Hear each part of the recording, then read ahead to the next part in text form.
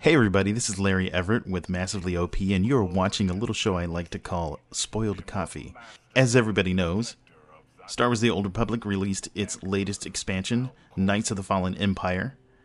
And one of the biggest things that they say KOTFE has over the rest of Star Wars The Old Republic is choices actually matter. And so, what I would like to do is show one of the biggest and probably the most spoilerific choice that you make within like the first hour of the gameplay. It's the same one that they showed at TwitchCon, but they didn't let anybody make that actual choice so that it wasn't live streamed. So I'm going to spoil it for you. And um, just warning, there is huge spoilers here, and uh, if you don't like spoilers, if you don't, if you want to find this out for yourself, do not watch. But I figured I would do everybody a service and show what actually happens and give a little bit of commentary regarding why things are the way they are and why BioWare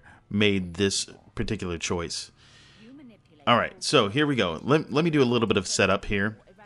What has happened is that Darth Marr has tracked down the Sith Emperor, who has fled into wild space, and a wild space is a bunch of, as far as everybody knows, it's uncharted space on the other side of the galaxy, and there he he tracks the Emperor, and uh, they get into a big battle with this this armada of Zakuul ships, and in the process, you get sent over there. Whether when you, whatever character you play, you are the Outlander in this particular case, and you get sent over there. And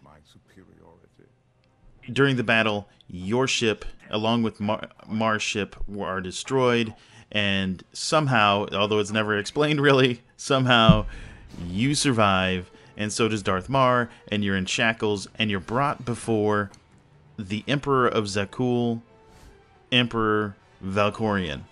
Now, spoiler alert again. I'm going to give a little bit of spoiler here, to as a setup. Um, what happens is that Marr determines, and you determine if you're a Force user, you determine that this is the Sith Emperor in another body. So Emperor Valkorion is the Sith, Sith Emperor, and he then asks Darth Marr if he would like to follow him and kneel before him and all that good fun stuff.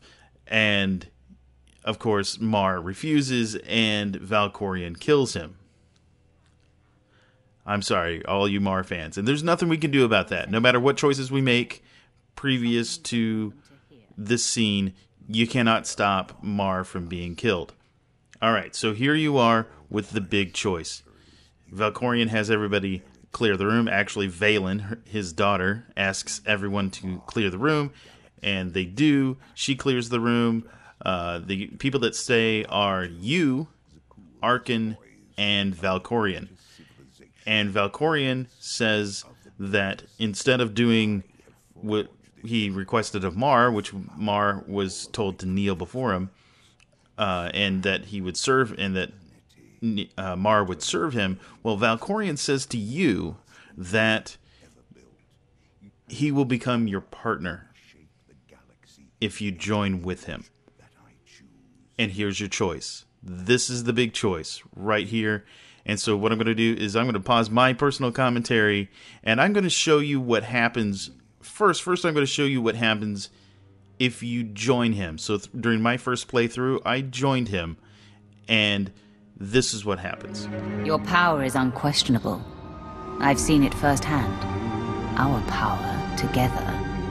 Nothing could stand in our way. I'm ready.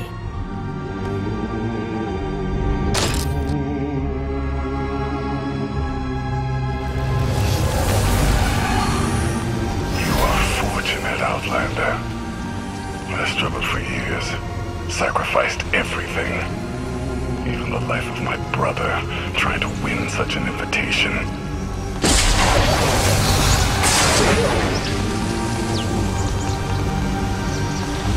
have done what I could not. In exchange, I will do what you could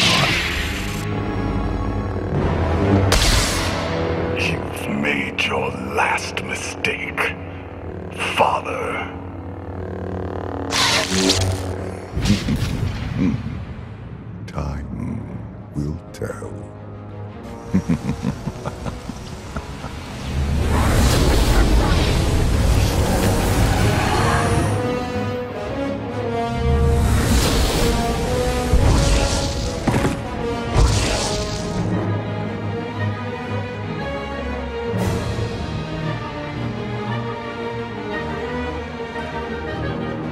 the Outlander has assassinated our Emperor.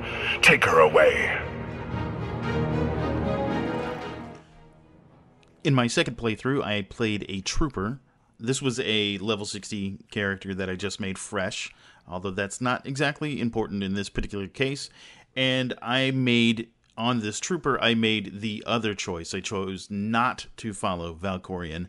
And here is what happened during that choice and i will come back after that and talk about you know what are the differences and why things happened the way they were from a storytelling perspective I've seen the things you do.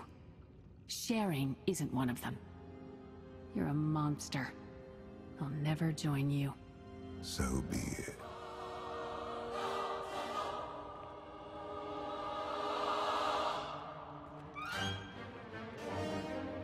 You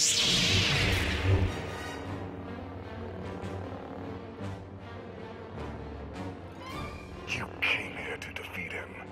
This is your chance.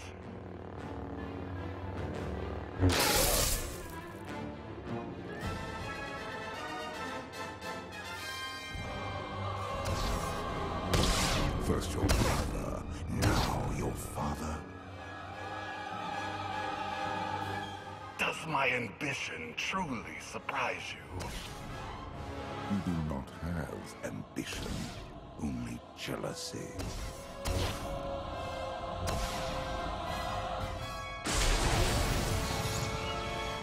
That is why you fail.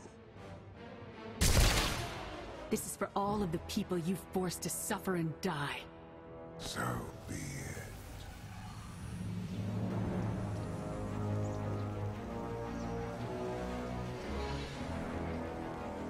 The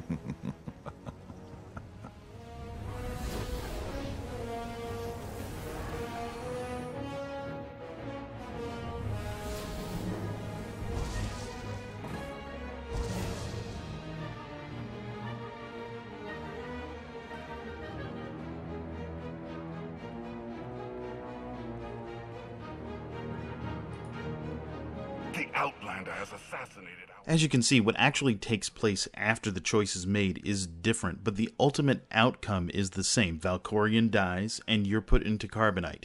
This creates a kind of inescapable moment in time. It kind of reminds me of Doctor Who, whenever that these instances have to occur and there's no way around them, you can't stop them. There's certain elements in a particular timeline that have to take place.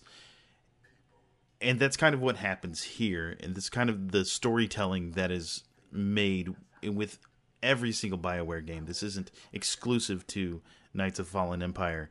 But I thought I'd mention this and, and show it. And, and I want to get your thoughts on this almost illusion of choice. Although there there are choices, and I, I don't want to give the impression that just because this particular outcome is the same, that there isn't going to be things that are different in your story versus somebody else's story. These but these major events have to take place in order for the story to move forward. And I'm wondering what you think about that. What do you, what are your thoughts regarding the illusion of choice, the un- inescapable events. What are your thoughts on the way BioWare tells a story? Is it interesting enough to make character decisions versus plot point decisions?